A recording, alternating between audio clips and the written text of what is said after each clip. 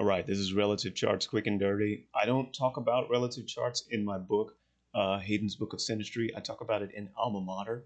Um, let's say that you want to know just the real, you want to know the truth about yourself and this other person or this other event, this business or whatever, and you just want to say, look, I don't have a lot of time to lollygag. I just started working with this other thing, this whatever. Um, how can I know quickly, astrologically, what to expect from my relationship with them? Give me the real. If you're ready for the real, then you'll do it this way. Okay. To make a relative chart, let's say that you have the program Starfisher. I don't know how you do it in your program, but I use Starfisher and I've got two charts, chart one and chart two. I come into the events and I go to combine events and it gives me some options for whatever charts I have open or loaded. For this one, I'm going to click chart one and click chart two. Okay, it's got this combined thing. I click OK, and yes, I want to make a new chart. Okay, chart one and chart two standard. Booyah. Another way you can do it is to come here. You can choose the horoscope type as relative. And you can do a chart one here and go to event, chart two here, and it's going to give you the same thing. Now, I'm not going to select this one because I actually like the idea that it gave me the merge, the average birthday and birth time for these two charts. I'm going to want asteroids from that. But as far as the quick and dirty goes, when you're reading a relative chart, I, by the way, I tell you all about how to do this in Alma Mater. Like there's a whole section on this very thing that we're talking about now. You want to look at six points. And really, I'm not going to say only six points, but relative charts are so dependent on proper birth times. If you don't have proper birth times, don't even bother doing this kind of chart. Um, you might just go with basic synastry and ignore ascendant, midheaven, and all of that. Because when you're reading a relative chart, you want to know about those axes. Those are the those are the things that count the most. The ascendant is how the relationship goes forward. The descendant is how the relationship uh, responds to things that happen in it. The midheaven is how the relationship looks in public, and the uh, the imum coli is what's happening when the relationship is not being seen in public. Additionally, the part of fortune is kind of like the background of the relationship. It's basically how um, it's it's it's kind of like the ambient environment when you've got things in the background on the ambient environment, um, like like uh, major asteroids, planets, things like that. That's kind of like the, the background music to the relationship. And the vertex is very cool, very interesting to look at. The vertex is kind of the reason that the relationship came together in the first place. These are just random charts from dates, just dates that I just pulled out of nowhere. So this doesn't reflect anybody. But if I wanted to know the quick and dirty about this chart, the one of the first things you want to look at for a relationship that is meaningful in a regular chart, a relative chart, is whether there is anything on the axes. Look, this ascendant doesn't have anything major on the axes. These these two random dates pretend they're people. They, don't have anything really invested in how they go forward together in the world. Eh, whatever. Um, they're seen as maybe talking to each other. They're they're seen by how they communicate with each other. So the public notes them when maybe they're they're talking because they've got Venus up there. Um, it's not that sharp, but whatever. It's okay. It's within five ish degrees. Um, when we work with duodecanates and we do like astro hacking and stuff, five degrees is real, real wide, and this wouldn't, this wouldn't, this wouldn't cut it. Uh, we're looking for something like 2.5 degrees, two, two, two-ish degrees. Anyway, same thing here. This Neptune, you could say, well, the relationship chart, um, when it's when these two random dates are not being seen together, they've got an ambient feeling. Again, that Neptune is way too far away. I wouldn't I wouldn't count it myself. But if you're just you're just kind of looking for planets on these asteroids, you might say Venus is there. I wouldn't bother with Neptune. Over here, ooh, look at this. These two dates, when something happens to them or in their relationship as a result of each other, maybe, they respond with their Mars. It could be influence, it could be aggression, it could be defense, it could be action, it could be anything that is Mars related. You'll have to look around. You also see that they respond with Hera, so maybe there's a little bit of solidarity there. In a relative chart, oh, okay, and, and lastly, they've got Eros for what they're passionate about. So if these were two people or a person in a business or whatever, they would come together mainly to play out the passion. Indeed, we've got Mars here, and so the element of a passionate response and intense response um, is going to be a theme in this kind of relationship. They've got Selene there, so maybe they want to use their blessed talent as kind of a background music. It's it's it's kind of tricky to interpret this because it, they're not real people, and I'm just kind of pulling things from nowhere. Um, but that's how you would look at it. Is this relationship positive or negative? Well, I don't know if you can say positive or negative. In a relative chart, the, the, the, the bad thing about relative charts is that they tell you, they, they give it to you straight. And if you're looking for certain things, like if I wanted this to be a romantic relationship, it's pretty much a fail, pretty much. Um, if I wanted this to be a work relationship, probably a fail there too. Why? Well, because if you want to look for friendships and like close emotional support, you're looking for three kinds of things typically on the axes Juno, the asteroid of commitment, Hera, the asteroid of deep bonds, and Bacchus, the asteroid of friends who'll never leave you. Bacchus is really strong, really weird in relative charts because as friends will never leave you, these are the people who you thought they were out of your life, but you, you can't quite get them out. They, they keep coming back. You keep coming back. Y'all keep coming back together. If that happens, you probably have Bacchus on one of these axes on the ascendant, on the midheaven, on the imum or whatever. So, anyway, um, when I look at a relative chart to see, okay, give it to me straight, is this relationship meaningful? The first thing I look at are the axes. It's not meaningful in how we go together. It may be meaningful in that we're seen talking, whatever. Um, if you value that, then that's cool. Um, if you like if you wanted to, to host a public forum or something like that with your your co-host this would be cool having venus up there it does not mean you're bonded. It means you talk to each other. But that could be a counselor thing as well. I look at uh, the descendant to see how we respond. Interesting. When you have in more charts of friends just straight up friends i have seen juno on the ascendant right? Um, in more charts of marriage partners, I tend to see Juno on the midheaven. These people, marriage partners, look publicly committed. Friends who go out together for funsies go out into new things publicly committed. Does that make sense? You would think that having Juno, the asteroid of commitment, on the descendant is positive. It might be. Um, I've actually seen it in relationships where um, the, the, the pair is hit with something and they respond with solidarity um, when things are well.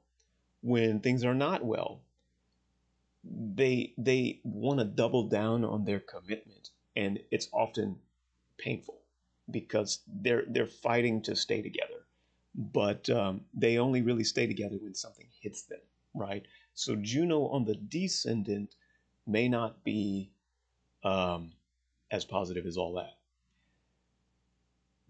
The strongest of these six points ascendant, descendant, midheaven, imum coli, vertex, and part of fortune is the imum coli by far. At least this is what I've seen. Because the imum coli is what your relationship is like when you're not going out, when you're not being seen in public, and you're not being hit by anything. You're not even paying attention to the background of the relationship or the reason they come together. You have a regular day. And stuff down here tends to define the relationship. There are some things that you don't want to see in your chart.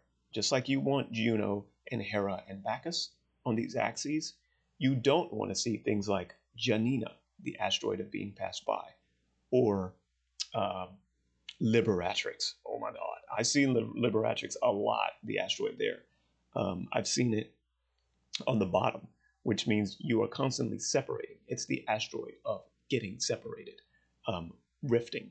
And so these are flaky relationships. They come in, they go out, and you want to rely on them, you you can't. Um, so anyway, this is this is kind of the quick glance at these. Now, it that doesn't mean the relationship is a lost cause. Sometimes you get into a uh, an exchange with someone or something for reasons that don't have anything to do with the majors. They have to do with specifics. So what we could tell so far is that there was nothing going on really um, in this relationship except for that these two people might be seen as talking to each other and they respond with action when something hits their pair. But yeah, and there's a little bit of, of, of passion there, kind of. But it's passionate action. It, it certainly doesn't seem like passionate friendship because Juno is way out here. It's not on any axis, and uh, Bacchus is way out here. It's not. It's not on anything and well, Hera, oh, they're bonded, so they they actually they they may absolutely have to do things together. They're like, oh, we got hit. Well, let's come together, right? Because they're bonded when something happens to them, the descended, and they have action there. Okay, I know that's repetitive. I know that's repetitive, but the quick and dirty facts means that in about six minutes we we get the idea of this relationship. The way I've described it, do you want to stay in this relationship? Depends on what you came for. Um, but that's the rough version of it. Uh, if you you decided that you two were a bunch of sentries or a pair of guards standing guard at the front of a castle, this is a great relationship because y'all y'all can cut up while people are, are passing by. But when something hits you, you can work as a, a team, a pair to get the action done. Not not so favorable for uh, for uh, other kinds of relationships. There's another there's another way of looking at relative charts, and it is the reason why I have these other screens up. And you may actually find this useful for general research. See this chart? It's got the merge. It's got the merge birth date and birth time. I know what the relationship doesn't do, but I don't know what it does do. How do we go out forward? It would be nice to know what asteroids are on the ascendant. What do we do when we're not being seen publicly? It'd be nice to know what was down here on the Imum Coli. Neptune's too far away. Here's what we'll do.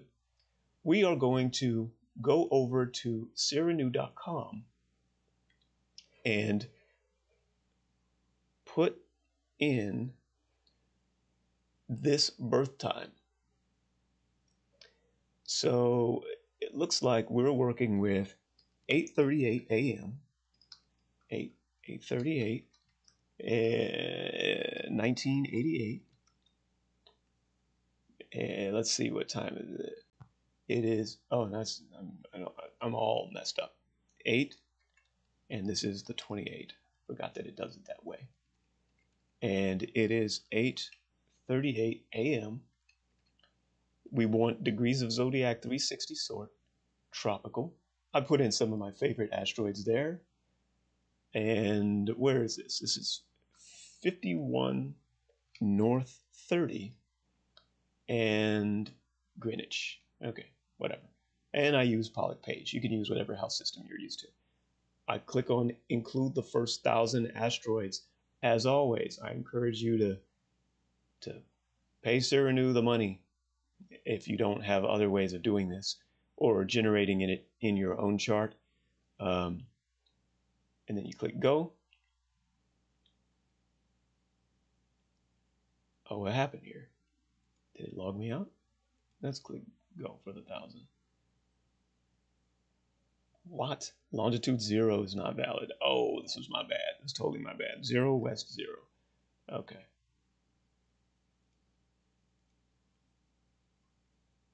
All right. Oh, I need to log in. Let me log in. Hmm. And then I click on ephemeris. All right. Dang. Okay, well, let's do it again.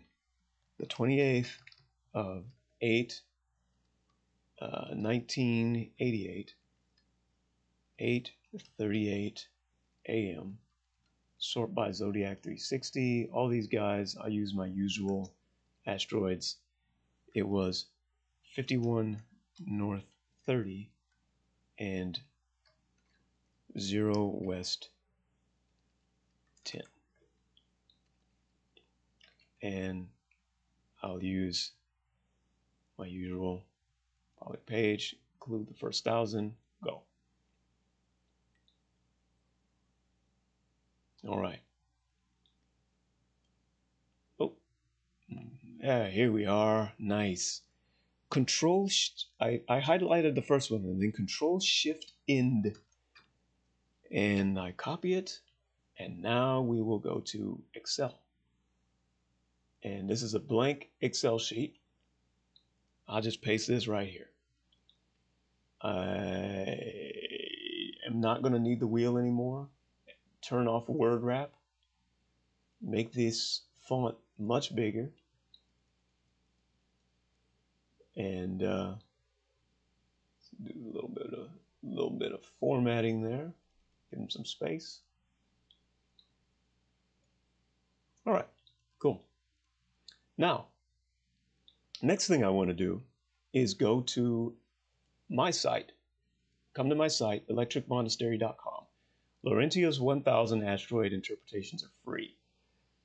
27th July 2021. Come here. And I'm waiting for my website to load. I'm so lazy about this website. I really need somebody to come do it for me because I just, I just, you know, I really, I don't, I don't, like working with web technology.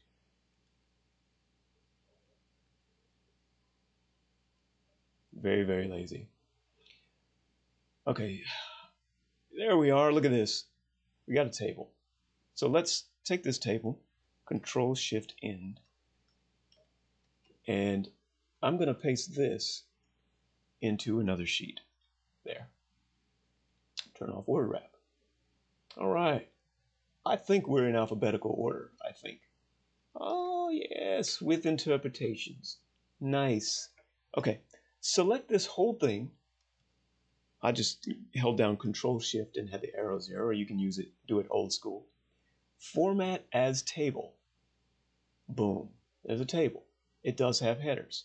So I'm going to leave that checked. Right here. And it's called table one. Nice. Okay, so let's come back over here and do equals VLOOKUP.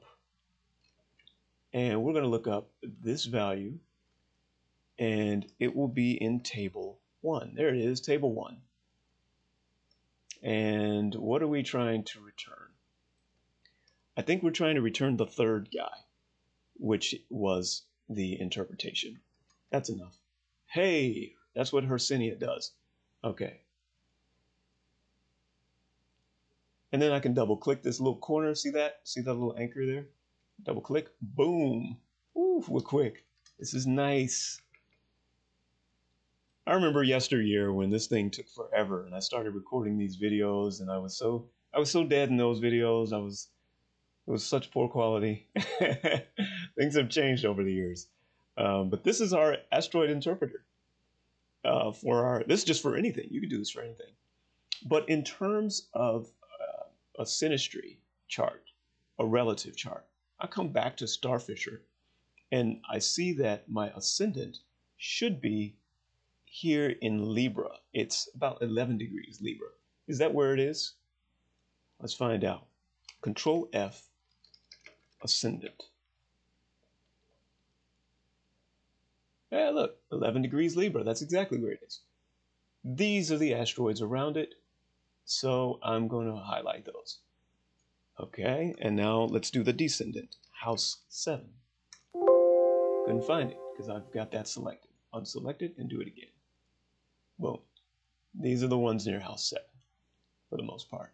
And of course, you can look at the degree and see farther or not. Next, house 10, the midheaven. Here we are. These are the house 10s. Boom. Highlighted. Next, house 4, the all-powerful Imum Coli. Find it. These are the ones near the imum coli, right here. Next, the vertex. The vertex is here. These are the ones near the vertex. There you go. Close that. You will not find the part of fortune from Serennu, so don't worry about it. You'll just have to look it up in the wheel, find it here. It's very near the vertex, and you can you could look down here. No need though in this video because it's pretty self-explanatory. It's somewhere around here, um, a little bit before the vertex. So I guess I could just say, just because that, and they're all pretty much together. But this one here is the part of fortune. I'm being, I mean, very, very kind of sloppy about this. But there you go.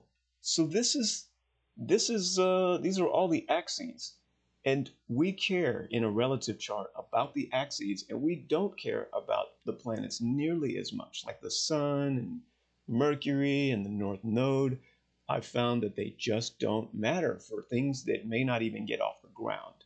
Once they've gotten off the ground and you have an established relationship with that other person or business or whatever, then you start looking at okay, how are we interacting? What does our sun say?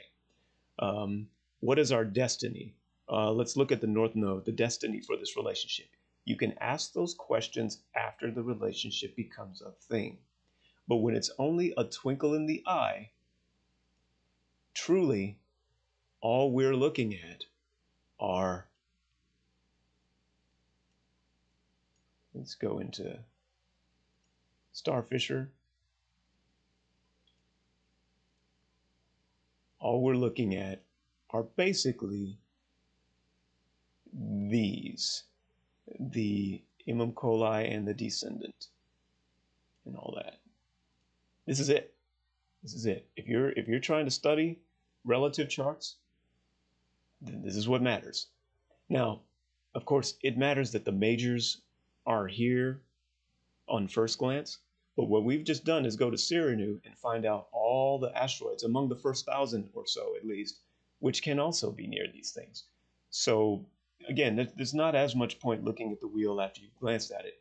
The wheel tells you if you can expect what you want out of the relationship at a glance, um, especially Juno, Hera, and Bacchus. But okay, so we've looked at what we want in here, but this here is going to tell us what we're going to get. So I come up here and I'm going to go to data, turn on the filter, and let's just click on one of these and filter by color, cell color, yellows. We kept only the yellows. And so the nature of this relationship is going to be indicated here. I see my little border with 11s. And now I can describe what this relationship actually does. Give me a moment though, because I need to, I need to uh, make these a little bit more distinguishable for myself. The stuff in Cancer is like that. Stuff in Libra, stuff in Capricorn, it's like that. Here. Okay. And then the part of fortune was its own kind of kind of deal. Oh, 21, 20, 29. Uh, let's let's they were around each other for the most part. Let's just kind of do it around here. Okay. These are the asteroids that you probably don't have popping up over here. What do they say about the relationship? Um, it says that by default, oh, I told you the most important one is the imum coli. When this relationship is on autopilot and nothing is happening really, then house four is what you care about. So it didn't show up when we didn't display all the asteroids, only the majors over here. But basically, this relationship between these two charts is creative visions, female camaraderie, admired by everyone, celebrated among peers, um, sex. And by the way, when you see sex, it can be exchanged for power as well. I remind you that I did my statistics on people, um, not on abstract concepts. And only on overt characteristics, not on internal ones. And so the interpretations are more, um, you know, in some ways they're more animalistic. But but you can always just substitute out words associated with women. Oh, and when you see the word women, by the way, women is basically the fem- the feminine polarity. These are people who control things, or these are energies that control things by defining the rules. Men and masculinity control things by doing stuff. So you've got folks who do stuff, and then you've got folks who write rules for what is done. And they both control systems. When you see women, and you're not looking at actual women, you're looking at relationships and abstract objects like this, think of it as situation defining, using your powers of acknowledgement to say if something is real or not. When you see men, think of the object performs an action. Okay? So here, by default, uh, this relationship is just kind of celebratory by defining things. Let's just say it like that. Uh, when nothing's going on, you can imagine. Uh, remember what I said about two guards standing there, right? You could imagine that the two guards are like, look at that guy. You see that guy? You see him walking across the street? You see that guy? He's funny, right? And they're not doing anything. They are defining, right? So that's what the, the women stuff is. Um, although, again, when I collected my statistics, these values actually came from clusters of women who had Leopoldina on the midheaven and the north nodes. So, hence the literal word. Okay, it's time for the guards to leave their shift and go do stuff in the world. What do they look like using their ascendant? Well, they spread messages of peace and love sticking a flower in the bayonet or something. Critically appraised. Oh, they're still critical. They seek external support. Hey, we're under attack. That kind of thing. They they still seem like guards to me. Um, and apparently they're popular. Okay. Um, how are they seen? Uh, draw interest. They have a reputation, voluptuousness. Uh, people may find them sturdy and and and uh, handsome or or comely, as they they used to say in the what 1800s. Um, they're like, look at those guards, wow, wow, you know that kind of thing, because they capture people's attention as they're seen. Um, and how do they respond? They have social intelligence. There's a lot of stuff going on. They see others. Motion's insane casting family to something Okay, okay. This must be my word mining. Interesting. Related to in-group tension. Queen bee status. Okay, so you get an idea. Oh, and why did the relationship come together in the first place? Apparently somebody was addicted to something.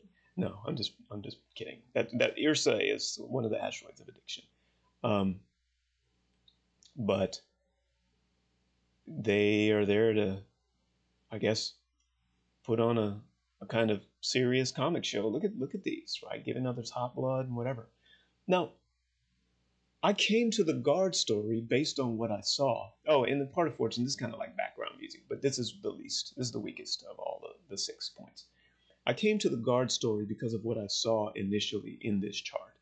Uh, but but ultimately, I stuck with the guard story because when you cluster the asteroids around these points, you can tell a holistic story of what the relationship does on autopilot when you're not expecting anything from it. This is it. Relative asteroids, quick and dirty. Um, good luck interpreting your own relationships.